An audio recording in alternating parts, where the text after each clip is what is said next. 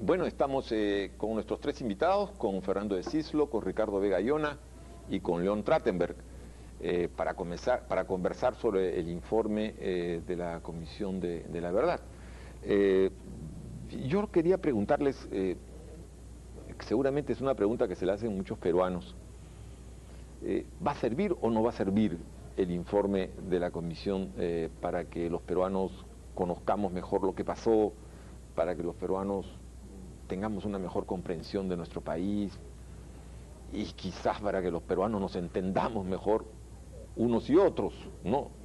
Creo que estas son no las únicas, pero seguramente algunas de las preguntas que muchos de nosotros eh, nos hacemos, ¿no? Entonces, no sé, usted, señor Fernández Islo, ¿qué piensa?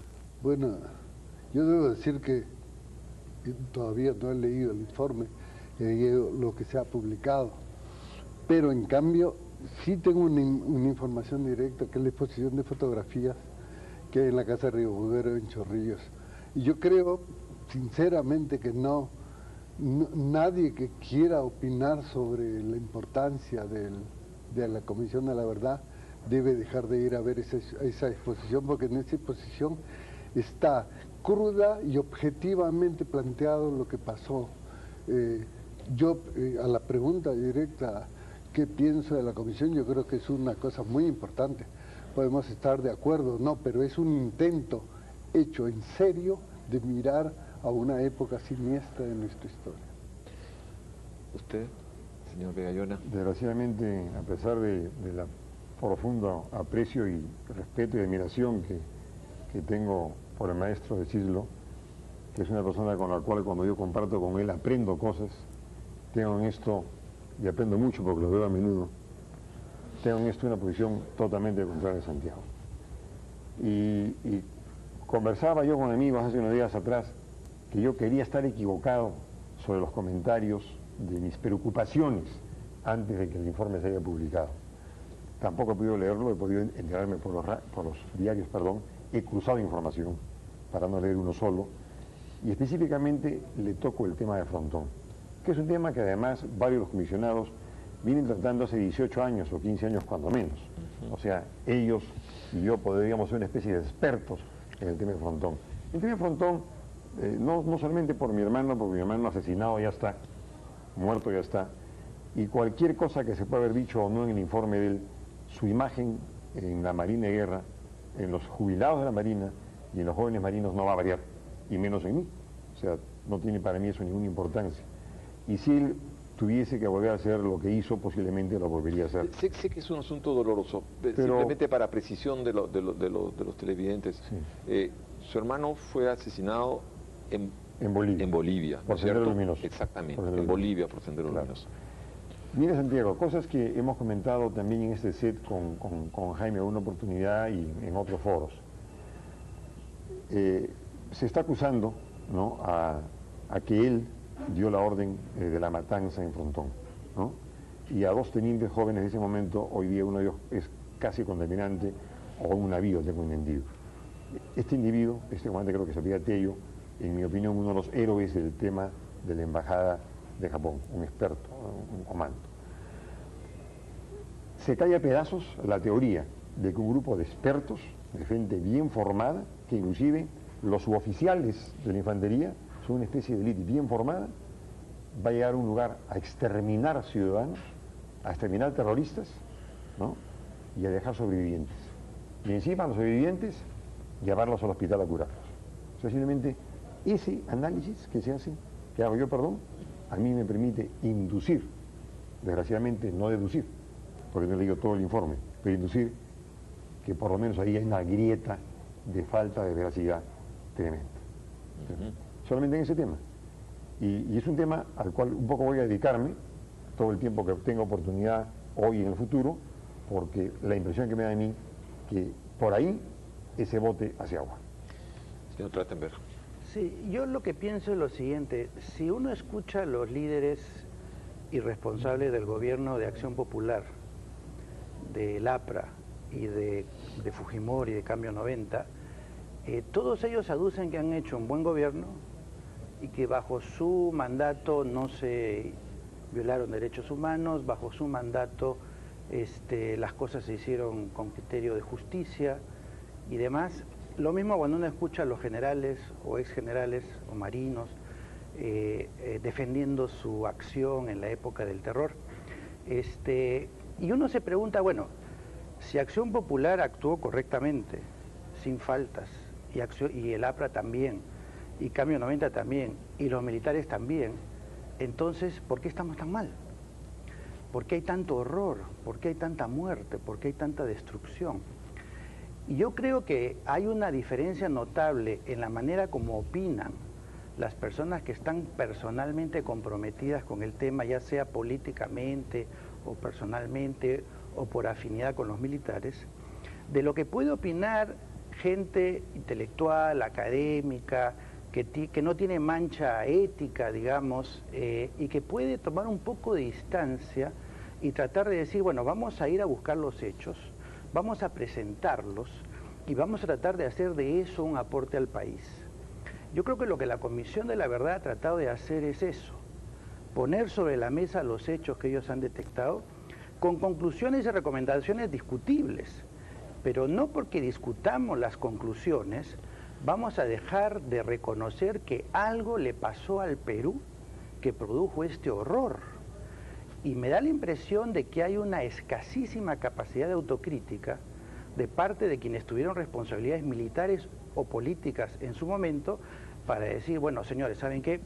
Hagamos un alto, tenemos que confrontarnos con esto, vamos a tratar, tratar de aprender para tratar de corregir errores, subsanar, de alguna manera compensar lo que hay que compensar, castigar a quien haya que castigar para poder mirar con la frente alto el futuro. Va a haber mucha discrepancia, pero es absolutamente fundamental que tengamos la posibilidad de confrontarnos con los hechos.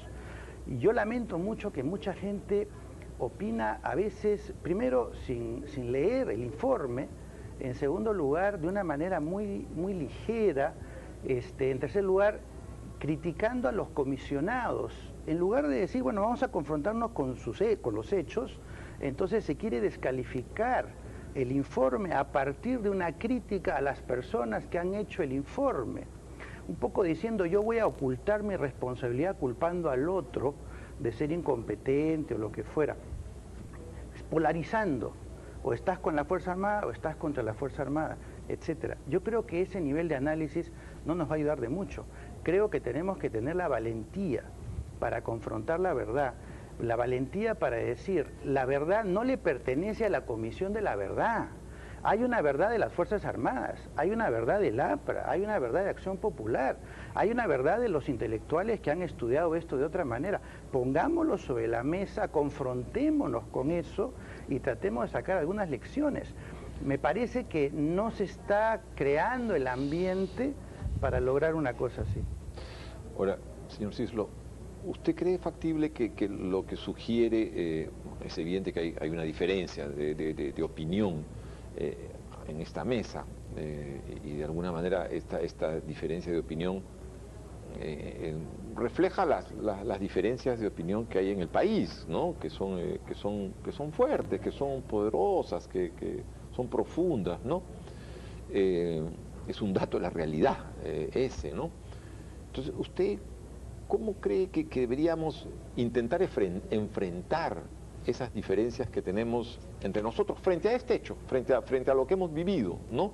Eh, ¿qué, opinión tiene? Yo creo que una cosa importante, y estoy de acuerdo con Rattenberg, es mirarlo con un poquito de, distancia, ¿no es cierto?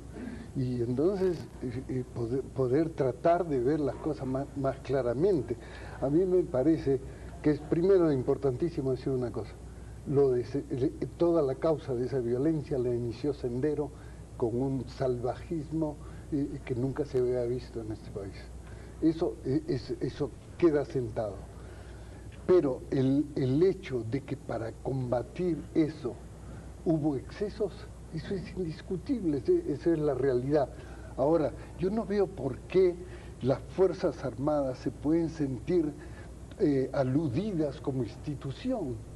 Y que se han sentido aludidas como institución porque hay unos generales presos por delitos comunes, no, ¿Por qué se van a sentir aludidas de que haya habido algunos casos en, el combate contra Sendero, en que se excedieron, en que fueron crueles, etcétera, etcétera. Entonces, el análisis que yo me hago es, aquí, en la Comisión de la Verdad, desde que nació tenía unos rivales poderosos y que querían tirarla abajo, desprestigiarla. Teníamos, de un lado, el, el, el partido aprista que temía ser involucrado en lo del frontón del otro lado, las Fuerzas Armadas que temían que eso reflejara sobre el honor de la institución o sobre la, la, majestad de la institución eh, castrense.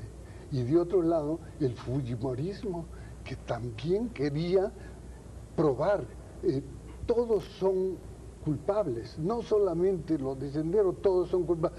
Entonces, si todos son culpables, todos son inocentes. Entonces, ahí la Comisión de la Verdad se ha, encontrado, como decía Trattenberg, con, con unas personas que solo lo ven del lado de sus intereses políticos y no ven lo, eh, que ha pasado en el país desde un poco más lejos, ¿no es cierto? Yo me pregunto ahora, este rebrote del senderismo tan publicitado, como en las novelas policiales uno se debe preguntar, ¿a quién beneficia? ¿Quién ha subido en las encuestas? Con el rebrote del senderismo. Fujimori estaba en 3%, ahora está en 17%.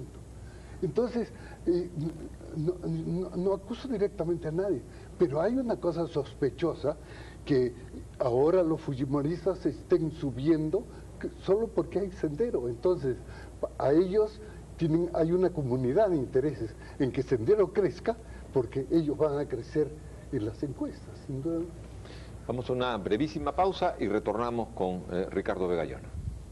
De crédito Mastercard del Banco del Trabajo, la tarjeta para todos. Bueno, estamos conversando con Ricardo Vegallona, con Fernando de Cislo y con León Trattenberg. Eh, te tocaba. Hemos seguido discutiendo sí, en intermedio.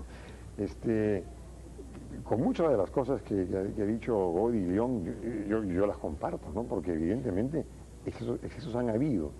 Pero lo que a mí me preocupa justamente es lo que ambos destacan como positivo de la comisión, y no comparto la idea. Creo, que yo que ellos han sido rigurosos en el trabajo que han hecho.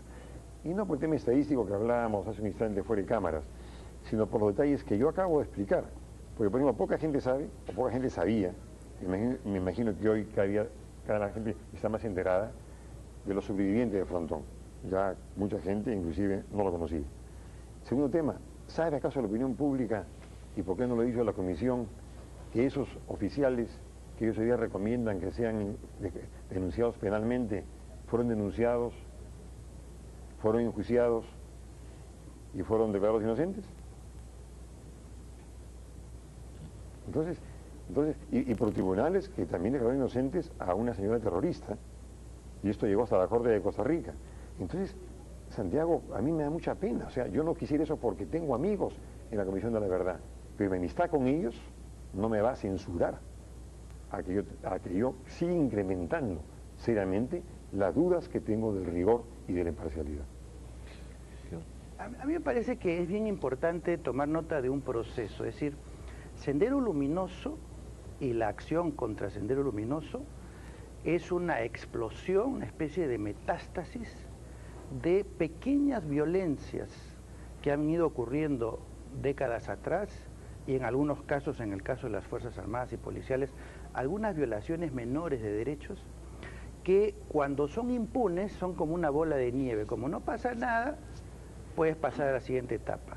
Las enormes violaciones de derechos humanos empiezan con pequeños episodios, igualito que la corrupción. En la medida de que los políticos, los gobernantes y demás eh, entran a la corrupción, y esto lo sabemos desde, yo por lo menos desde la época de Odría, que hay corrupción en el poder y sin embargo es impune, nunca se sanciona nada. Conforme las pequeñas muestras de corrupción ocurren y no se sancionan, cada vez la, digamos, la capacidad de corromper más y más se hace mayor hasta que llegamos a un Montesinos con Fujimori. Entonces, Sendero Luminoso y Montesino Fujimori representan la metástasis de un tumor maligno incubado hace algunas décadas en materia de corrupción, en materia de mala política, en materia de violación de derechos humanos, que no fue extirpado a tiempo. Y creo que una de las grandes lecciones para todos aquellos que queremos mirar el futuro es que los problemas hay que, hay que enfrentarlos cuando son pequeños. Las violaciones del día a día, la, delincuencia del día al día, el maltrato del día al día que puede venir de un policía o de un militar o de un político o quien fuera. En la medida que tú lo agarras en pequeño y lo sancionas, estás previniendo que ocurran después las expresiones mayores. Si nosotros analizamos lo que está pasando ahora, por ejemplo, en todo el tema de la corrupción de la década pasada, eh, estamos viendo cómo poco a poco la gente va, va acomodándose, va saliendo bien librada, están diciendo Fujimori fue el bueno, Montesinos fue el malo, lo culpamos a Montesinos y todo el resto queda tapadito. Eso no va a prevenir las futuras corrupciones. Entonces yo creo que uno de los aprendizajes fundamentales de esta comisión es que los derechos humanos, la corrupción, etcétera, hay que tratarlos caso por caso cada vez que ocurren porque de lo contrario nos vamos a enfrentar con una explosión enorme. Y creo que el Perú no ha hecho lo suficiente para agarrar las cosas cuando todavía eran de pequeña magnitud. Ahora, con respecto al valor de la verdad, permíteme hacer una analogía, disculpen que tome un minuto más. En el año 97 se tomó una prueba de medición de calidad a través de UNESCO. 13 países, Perú salió muy mal. Fujimori da la orden de ocultar la información. En educación En educación. Mm. Palermo y Fujimori ocultan la información. La información se tuvo guardada cinco años, recién se reveló en el 2002 y recién en el año 2003 Beatriz Merino declara en emergencia la educación. Mientras tanto, 5 millones de alumnos han sido condenados al fracaso en la escuela por no haber tomado las medidas correctivas en el año 97. Lo que quiero decirte con eso es, que ocultar las cosas jamás resuelve los problemas, simplemente los hace más grandes y posterga el momento en que tienes que enfrentarlos. Nos quedan dos o tres minutos. Eh, no sé si algún comentario sobre, sugiero, sobre el futuro. Bueno, yo creo que el, el futuro se va a labrar sobre cosas como, como esta, ¿no? sobre eh, miradas desapasionadas a la realidad. Y, yo creo que, puedo insistir un instante en una cosa, ayer Susana Villarán en este mismo sitio dijo una cosa que a mí me, impresionó, dijo, en, las, en, en los Andes peruanos había un millón cien mil personas que no tenían eh, libreta electoral, que no existían prácticamente. Y eso no solamente rebate las cosas que se dicen contra esta proyección estadística, que no tiene mayor importancia, pero no, solamente rebate eso, sino que demuestra hasta qué punto vivimos de espaldas a los Andes, como la, herida que produjo la conquista nunca se ha cerrado. Eso aquí no ha pasado lo que pasó en México, que hubo una... Eh, identidad, se creó una nueva identidad, los mestizos. Ahora todavía estamos discutiendo si la estatua de Pizarro debe quedarse en la Plaza de Armas o se debe poner a, a o a Huichusco, ¿cómo se llama el cacique? Yo creo que en eso es muy importante porque es una mirada desapasionada y es una mirada que ha puesto mucha atención en la cosa rural. Y la cosa rural andina en este país es capital porque vive una gran cantidad, una, la mayor cantidad de peruanos son, están allá, además están miserablemente allá. Pero el análisis que hace Fernando de ¿quién no lo puede compartir? Pero yo insisto y repito, y me voy a basar en una enseñanza que me hizo un colega suyo, Santiago, de que hay que tratar de vender una idea y no muchas. Yo le pido a los televidentes que hagan un esfuerzo por tratar de leer, aunque sea resúmenes, y que cuando lean la parte que yo he comentado con ustedes, se escuchen lo que yo he dicho. Y creo que muchos televidentes saben que yo no soy mentiroso. Saben que siendo hijo de militar y hermano de marino, nunca he estado con un gobierno militar, ni de izquierda ni de derecha. Desde mi posición de empresario siempre he luchado por la democracia y por la verdad. ¿Y qué miren eso? Yo creo que la Comisión ha cometido un gravísimo error y ha desperdiciado una gran oportunidad. Santiago, extraoficialmente, yo fui convocado para la Comisión. Y tuve, por momentos, la tentación de aceptar por el respeto que le tengo a la mayoría de sus miembros. Y dije al final, mejor no voy, porque quiera yo o no, puedo tener una carga emotiva. Lo reconozco. Pero le soy franco, cuando he venido acá, hoy a ver con usted, otros días con Jaime, hago un esfuerzo sobrehumano por quitar la carga emotiva. Porque como cien veces lo he dicho, a Juan no lo pueden matar dos veces. Y ya daño no lo pueden hacer. Entonces, lo hago por los oficiales no asesinos, los oficiales que no han asesinado, los oficiales que han tenido que matar contra su voluntad por el país, la gente que dio el pecho. Nadie escogió ir a pelear a las armadas del Perú. Yo me acuerdo cuando joven era un chiquillo, era un teniente primero, creo, o corbeta, y me decía, flaco, ¿qué hacemos? Nos dan balas y kilovatios y ladrillos y bocatomas de agua. Ellos mismos se dan cuenta de la tremenda pobreza. ¿No hubiera sido Santiago un lindo homenaje a los pobres de Ayacucho haber continuado esta estupenda pista de Pisco a Ayacucho y ampliarle de Ayacucho al rico Valle de San Francisco para llevar riqueza a Ayacucho? ¿No hubiera sido eso un gran homenaje a los pobres de la zona? Y no realmente revivir temas que por lo menos yo conozco. Quizás algunos peruanos no hayan conocido o no hayan mirado de cerca. Yo hace años que lo miro de cerca, años que lo sufro, y años que me da pena que eso existe, que haya existido. Pero creo que la mejor manera de resarcir a los pobres es ayudarlos a generar riqueza. Bueno, muy breve, por favor, porque ya sí nos Básicamente, pasamos. nadie tiene el monopolio del sufrimiento y nadie tiene el monopolio de la verdad.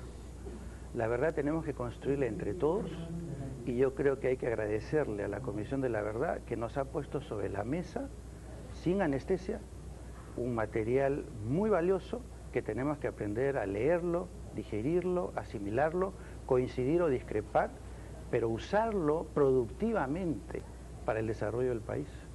Bueno, yo quería agradecer a los tres por su presencia, a Fernando de Cislo, a Ricardo Vega y a León Trattenberg. Y bueno, eh, no sé, que quizá esta conversación que hemos tenido, tensa, pero al mismo tiempo creo que, que tolerante, eh, eh, pueda permitir que este informe de la Comisión no es que cierre nada, sino que pueda quizá convertirse en un punto de partida para que el debate entre los peruanos sea de estas características, con tolerancia y en búsqueda, no sé si de una verdad, porque una verdad no existe, en búsqueda de construir una, una verdad compartida, ¿no? que, es, que es muy difícil, que es muy difícil, pero eh, quizás esa sea la tarea. Eh, muchas gracias a, a los tres, una brevísima pausa y retornamos con el presidente de la Comisión de la Verdad y con eh, Rolando Aves.